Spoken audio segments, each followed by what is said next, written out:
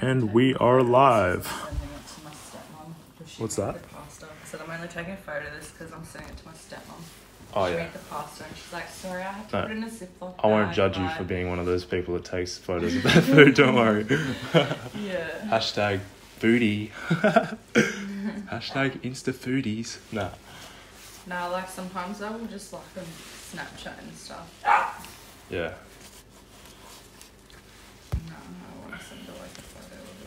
So are we gonna make a podcast or are you gonna like, or am I just recording? Because I don't know if this is gonna be heard by Oh, other wanna make humans. yeah. Oh, do you want to make a podcast? How about it? No, like I just put that. I just floated it up in the air. This is, as you can as you can tell, for who anyone that may hear this, we still don't know if you will hear this because I don't know if this is going to go out to anyone. But I'm floating the idea of possibly, potentially, maybe making a podcast right here, right now.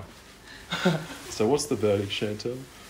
Verdict on what? the verdict on the question of whether we're going to make a podcast or not. It's already been Oh. going for a minute 16, so Uh, This is basically a podcast. About? it's about making a podcast and the question of will we make a podcast? Well, we alright. rambled on for long enough. We technically did make a podcast. Exactly. So, what even is life? What even is time? What even is space? I don't know. Ask the human race. Well, wow, that was terrible. oh, maybe we could ask interdimensional beings who are beyond the human race. Dun, dun, dun. Ask the green people. What about the blue people? Wait, eh? What about the blue beings? Because they're not people. Well, No, I'm just kidding. a long story behind that. One time, my mum she asked all my sisters like individually how they were. Then she asked me at the dining room table how I was. So I just decided to mess with her, and I was like, "Yeah, you know, been all right, except you know the green people." And she's like, "The green people? What are you talking about?" I should tell. and I was like, "Oh, you know the green people. They've been listening to me and everything. Like they just follow me around."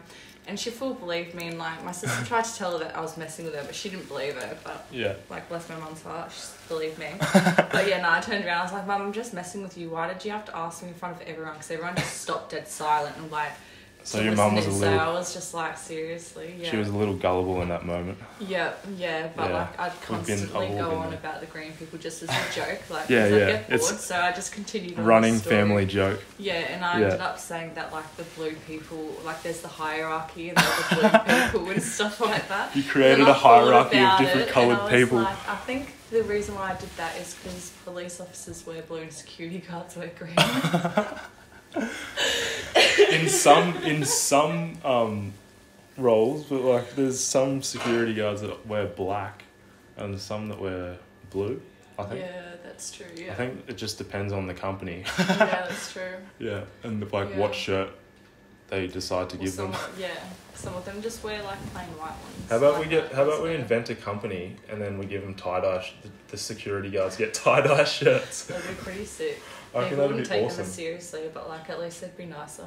people would people would be like treat them with like more there'd be much more love in the like in the yeah, domain of security and they wouldn't be so forceful I don't think and fucking aggressive and thinking with their um, primitive brains yeah, they'd actually Because- enjoy their job. yeah because they'd be wearing a tie-dye shirt which is you can only be feeling love and happiness and and all those all those emotions No, If you're wearing a tie-dye emotions in a tie-dye shirt. you, you can't be negative in a tie-dye shirt can you you can't I like this tea towel though hey Yeah, they're pretty cool. You guys probably can't see this tea towel, and I'm not going to tell you what color it is. So you're just going to be leaving, let like, in the dark, for the about the tea towel. It's green, by the way. Yeah, I'm too kind. It's got palm trees. It's got it does. It's got palm trees. Are they palm trees or are they like Um, little green? Oh yeah, they're fern. They're, I don't. know, It's some sort of a plant. It's like a palm tree or a fern or. Gemma got them for the beach thing that she was trying to go for. Yeah. And then I have sitting on this table a bottle of Jack Daniels Tennessee honey, which has been mostly drank, drunk. It has 19 standards. What is a standard? Don't ask Oh, the depth of our conversations, I just love it. I love it. Yeah. I wish I wish I could have this type of conversation with everyone.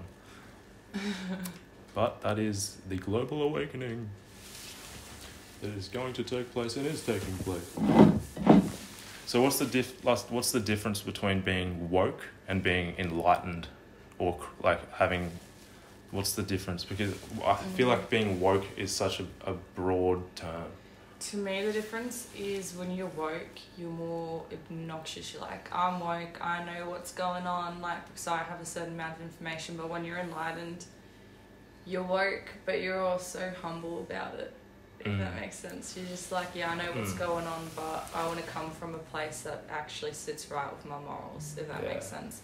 I think I think enlightenment is the highest form of consciousness that we can feel, and it's just pure love energy and like love. Yeah. It's just every positive emotion, and that's like it's just which is love. Yeah. Like, All of that combined is just love, and like when I went to that Eckhart Tolle seminar, and like being in his presence, you just you can just feel it. It's like wow, this dude's like he's just got there. Hey, like he's Yeah. just he's he's he's done it. Yeah, It's I went wow. to a Russell Brand seminar and it was like the same because like Mm. everyone always thinks he's out there and stuff, but like Oh, he's his really smart. oh his vocabulary I'm so envious of because like Yeah. like I, I not envious. I, I aspire to get to that that level of vocabulary um, knowledge. we have a cat and a dog chasing it, and then it'll be a dog chasing the cat soon. Yeah. Or ch- cat chasing the dog. They're so funny, hey. Yeah. Ollie, what you doing? Ollie, you want to be on the podcast? Oh, you sniffing my connies? yeah, my feet stink. Yeah, probably. she goes chasing him. yeah, yeah. Steps up. Sasha. Sasha the attacker. No. Yeah, she's feisty. Feisty feline. oh, they're classic. I've never actually seen such a good um, relationship between a cat and a dog. Hey, Yeah, no, Like, me it's, neither. it's really awesome. yeah, that's why I love really them so much. Yeah. Like, they're just amazing together. They, they are. She's more rough on him than he is her. Yeah, well, cats she are sort of more. the cat, the cat is more aggressive. Yeah, for they those are. listening. Yeah. Yeah, yeah. cats. Cats and dogs and cats and dogs and boots and cats and boots and cats. I was literally thinking oh, yeah. Calm down, Siri. Well, I have started producing beats and I'm basically the best DJ in the world, so no, I'm just kidding. Liam, be humble. You fuck. I was gonna say so. that was disturbingly bad. No, Yeah.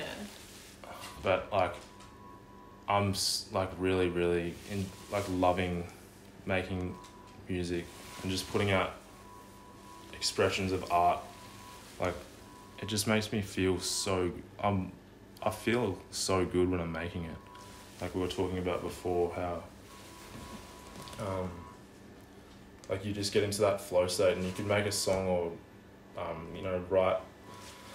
Write a story or what- whatever art you do, like paint a picture, write poetry, anything. It's just about tapping into that state of flow and that state. They call it chi. Have you heard of chi? Yeah. in like um, Eastern culture, and like um, I want to start doing qigong, which is uh like just being like it's exercises like light like little bit which works on um, inheriting that universal energy and just and then you get into that state. That's So it's cool. you can literally tap into it at all times by just doing things like that and meditating, all, all those things that get you into that state of mind. But create the creative state is probably the best state for it, I reckon, Mm. being creative. But we need to we need to make that song. Yeah, no, that'd be sick. Yeah. yeah, nah, we will though. Yeah, I haven't written too much recently. Well, we need to like play the actual beat, and then like as it's going, you can sort of think about. it. Do you want me to send you the the link for the? What do I have to do? Um, even if you just Is it like an MP3? the MP3 or something after, Yeah. yeah, We'll work it out how, how to do that. yeah. Ten minutes. Milestone one. Objective complete. Ten minutes.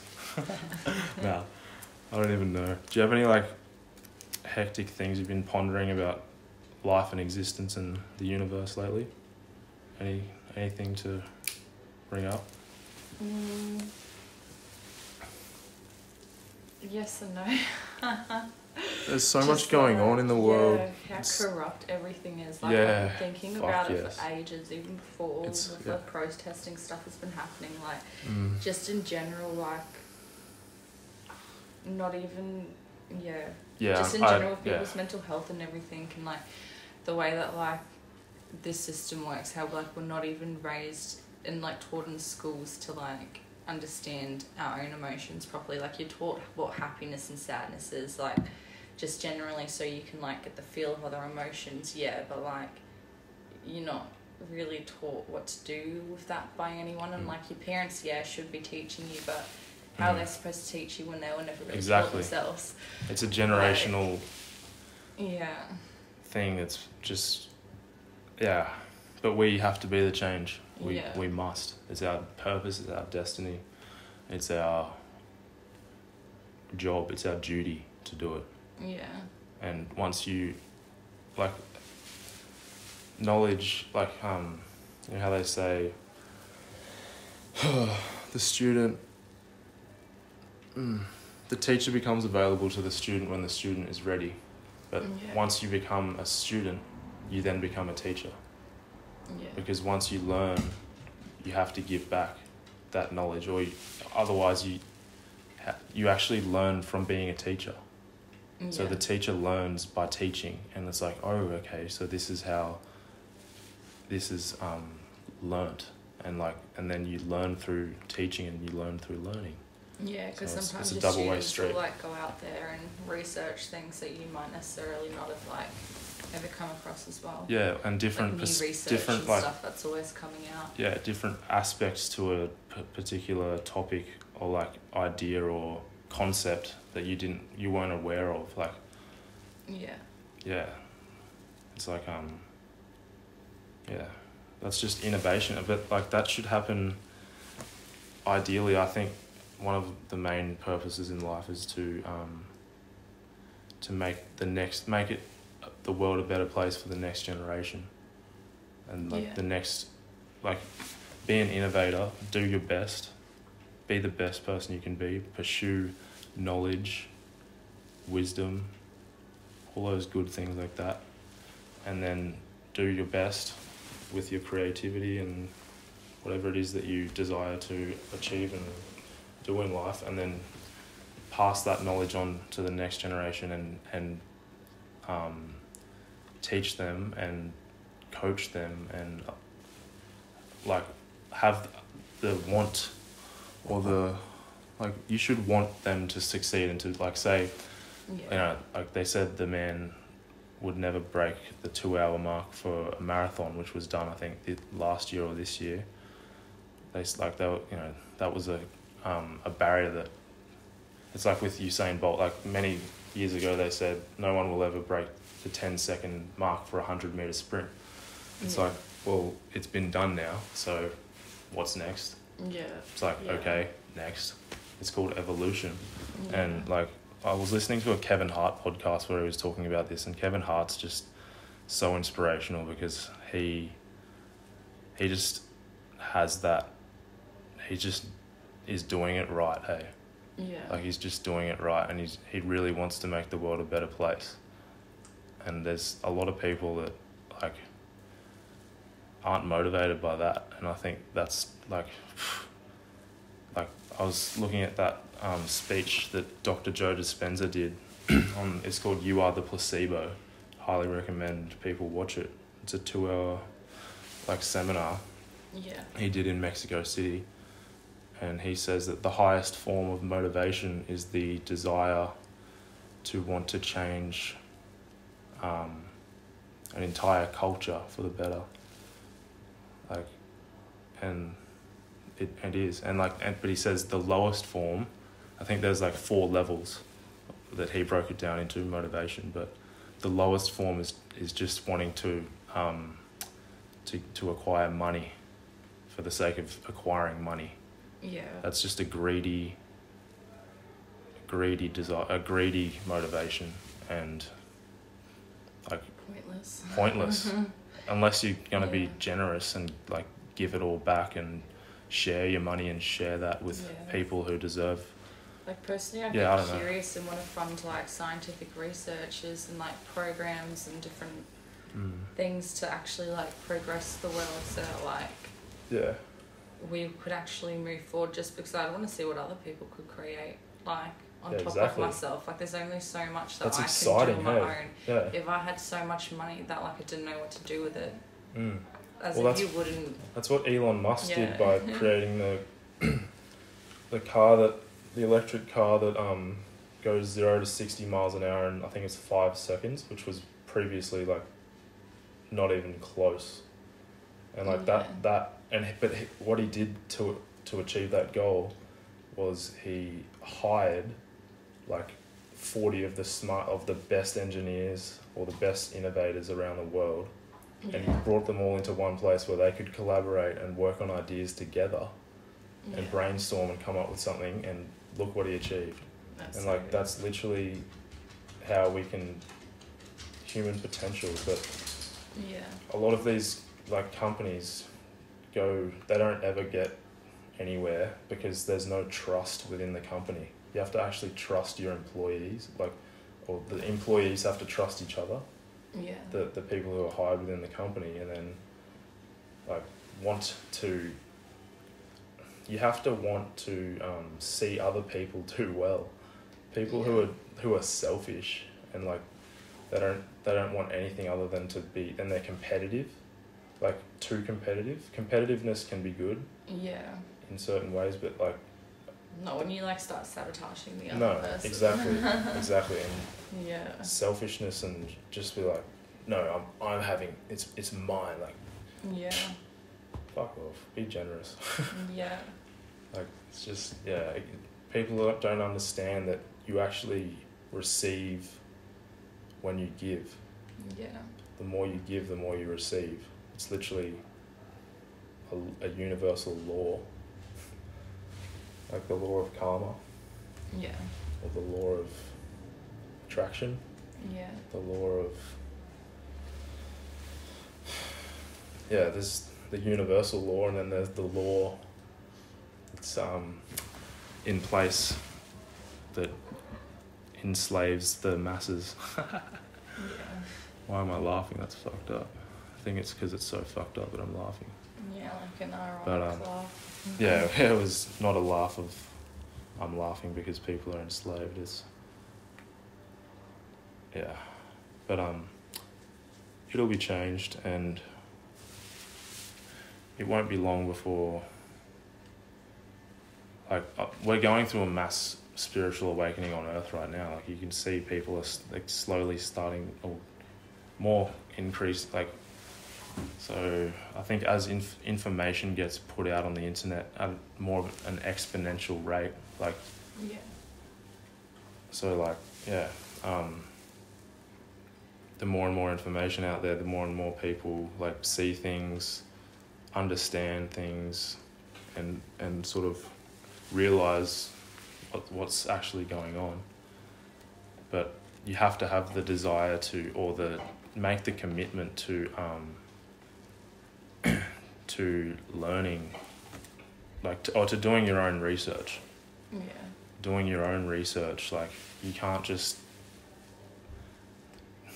a university, you know, the government run or the uh, the state run um, facilities, even the a lot of the um, corporate owned and the privately owned facilities and um, things like that, like learning institutions Yeah. they they still are oppressing people because they're like in their. Well, first of all, how bullshit are most of the courses that you like? A lot of the stuff that you have to actually do. It's like this is the most retarded, like. It's just common sense, but it's like, like you have to do so many little things that like Yeah.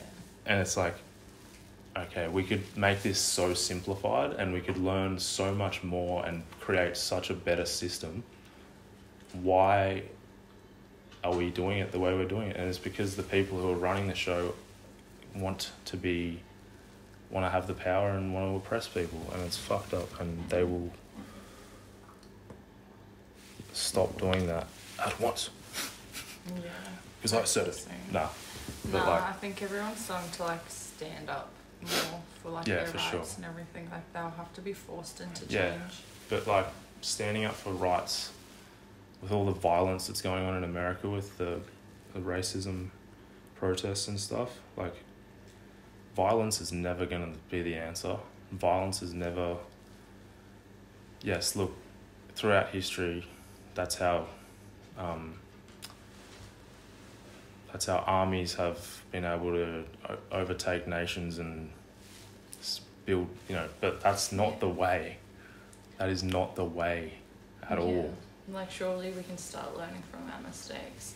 Yeah, like Like we should have already, but it's um it can be disheartening to see, but like you can't let that negative the, any of the negativity um uh, you can't let it dictate the way how you feel. Like you, you just yeah okay. There's a difference between letting a, an emotion stagnate in your mind and just stay there and, and then make you feel and then that creates a mood and you're in a mood of a shitty mood all day yeah. um, or you can just be aware of it like okay yes there's messed up stuff going on i'm going to be the change i'm going to be the best person i can be and have the most positive effect on all of those people that i come into contact with and have just do everything i can to be the best person i can be and that's all you can do Yeah. and that is so powerful because it literally you'll come into contact with someone it's just a we're energy and like you bring it bring energy into a into like a room of like go into a corporate office building and they're in their little cubicles and it's like wow this is depressing it's like the matrix how they're sitting in there mm, yeah. and it's like, and then, but like, I, I, I bust in there with a friggin' UE boom and I'm pumping like absolute a banger. And then people, and it's like, this guy's got a vibe. And then, like, you make someone smile, you make them happy, you make, you, you change their emotion, yeah. you change the way they feel for the better. They have the, they have that effect on someone else. It's, it's a domino effect and it just, and it's so powerful and people don't understand that the effect you have other on other people and the energy you bring into your daily interactions really does um, change the world Yeah. So Definitely helps make a difference. yeah do you reckon we should wrap it up Yeah. laters Bye.